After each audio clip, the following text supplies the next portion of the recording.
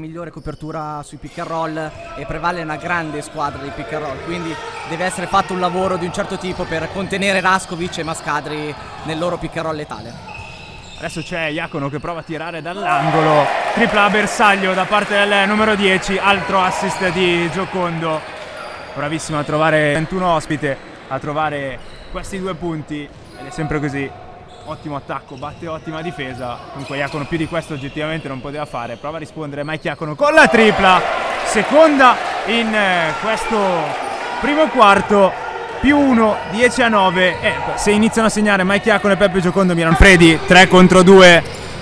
Cerca un passaggio bruttissimo, ovvero bellissimo se funziona, ma brutto se non funziona. Giocondo nell'angolo per Iacono, forse c'era infrazione di passi, gli arbitri non fischiano nulla. E c'è la tripla di Mike Iacono. Abbiamo vissuto un momento di non basket e poi è arrivato Mike Iacono a sistemare tutto. Un minuto da mini basket più che da basket. Buona difesa di Bassani.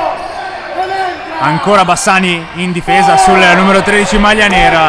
Rimbalzo di Marco Colombo per Iacono, finta il passaggio dalla sua mattonella. Michael Iacono, meno 3 e adesso è Prevalle a chiamare necessariamente time out. Super parziale di Il Milano 3 è andata bene. Iacono, c'è l'uscita di Ale Ferri, consegnato le mani di Colombo, nuovamente Mike Iacono contro Faini, blocco forte di Ragni, Iacono da tre punti, la palla entra! Ancora tripla di Mike Iacono, determinante questa sera il numero 10 dei ribalti che sta facendo discretamente bene in difesa, però continua a non trovare la via del canestro, infatti continua a chiamare la palla 5 palmi in penetrazione nell'angolo per Iacono da 3 punti.